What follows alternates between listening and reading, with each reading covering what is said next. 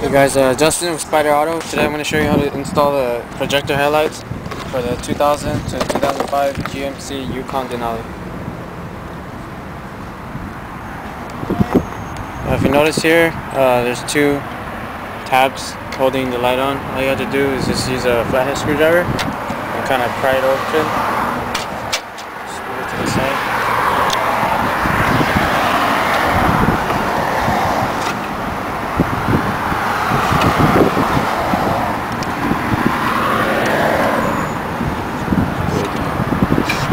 Pull it up.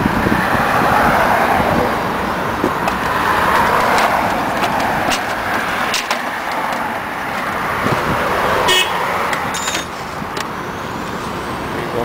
The next thing you want to do is uh, just disconnect the wire, the terminal.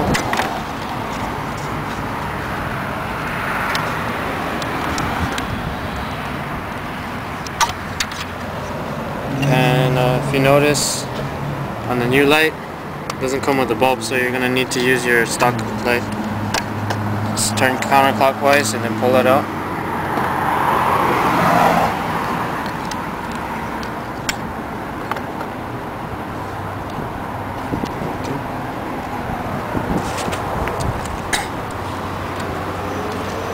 Now to hook up the halo, um, pretty much put the red and the white together and all the black ones together. Uh, usually just hook it up to the parking light to turn on the halo and the LED.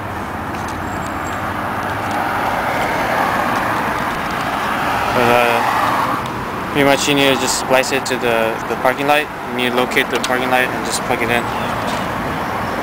But for this video I'm just teaching you how to install the light. Just, just plug in the wires. Slide it back in.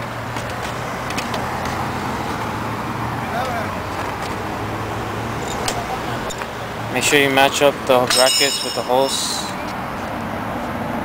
So put it right there.